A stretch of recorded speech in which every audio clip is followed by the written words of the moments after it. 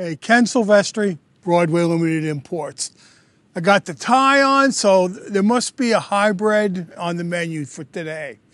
Today we have three locomotives, and they're all workhorse locomotives. For a machine to be called a workhorse, it has to be dependable and reliable, and all three of today's locomotives fit that bill. Workhorse number one, the Paragon 4 EMD NW2 SW7 switchers in N scale. These were built in the late 30s to the early 50s, and approximately 1,775 were built. Okay, these N scale switchers feature Rolling Thunder, dual mode decoder, switcher mode, and Joe Goddard's going to talk about the, the switcher mode a little bit, all wheel electrical pickup, die cast body with die cast chassis for traction, many separate applied details such as handrails, grab irons, smokestacks, horn, and bell. Dual and single headlight options accurate for each paint scheme. Prototypical light operation. They'll operate on code 55, code 70, and code 80 rail, and the minimum radius is 9 inches.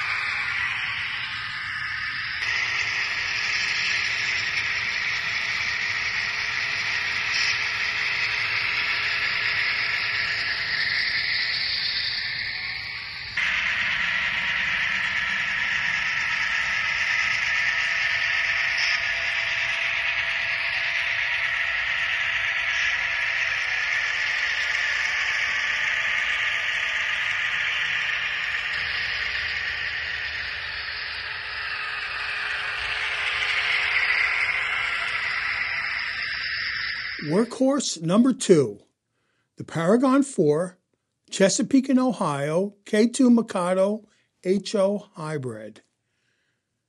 And these ran from the early 1920s till the 1950s in dieselization. And the C&O had 150 of these. All the K2s were delivered with 12,000 gallon, 15 ton capacity Vanderbilt tenders. The C&O quickly realized they would need larger tenders, and most of the K2s eventually ran with the 16,000 gallon, 20 ton capacity 16 VC tender. We are offering models with both tenders and have selected appropriate road numbers based on the tender assignments. BLI's model is of the K2 locomotive as it appeared in the 1940s. These are quickly recognized by their large Elesco feedwater heaters and flying air pumps hanging from the smoke box door. All of these models have handcrafted brass boilers, cabs, and tender bodies. Some of the features are they operate in DC and DCC, built in capacitor pack, and that's a game changer. Pro lighting mode offers individual control of all lights, quillable whistle, choice of three selectable whistles, adjustable bell ringing interval for faster, slower speeds, numerous user mappable functions, multiple realistic passenger and crew sounds, grade crossing automatic signal, automatic forward and reverse signal, chuff sound intensity varies with load, individual, adjustable, sound volumes for each effect, and the easy reset button.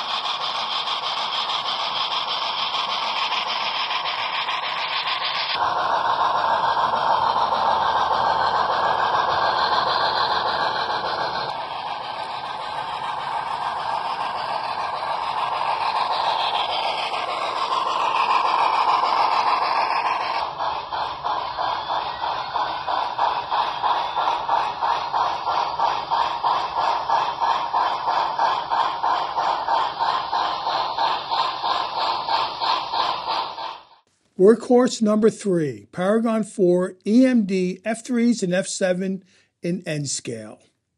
Question Did EMD's F units spell the death knell for the steam era, or did these first generation diesels usher in a new era? Depends upon your focus. 5,656 F3s and F7s were built between 1946 and 1953. All 1,500 horsepower, almost all the railroads had them. F units were sometimes known as covered wagons due to the similarity in appearance of the roof of an F unit to the canvas roof of a Conestoga wagon. Road specific detail options in this production have cab number specific detail. Pilot prototypical for paint scheme. Operating Mars light where prototypical. Small horizontal and large 45 degree number boards. Prototypical operation. Water fill hatch location. Sand fill hatch location. Dynamic brake where prototypical. Cooling fans and exhaust hatch accurate for each prototype winterization hatch present where prototypically accurate, multiple MU door options on front of model, multiple skirt options above fuel tank, ladder rest grab irons present where prototypically accurate, grab iron ladder present where prototypically accurate, eyebrow grab irons present where prototypically accurate, roof antenna present were prototypically accurate. Front and rear lift rings, nose door number plate, train phone antenna present were accurate.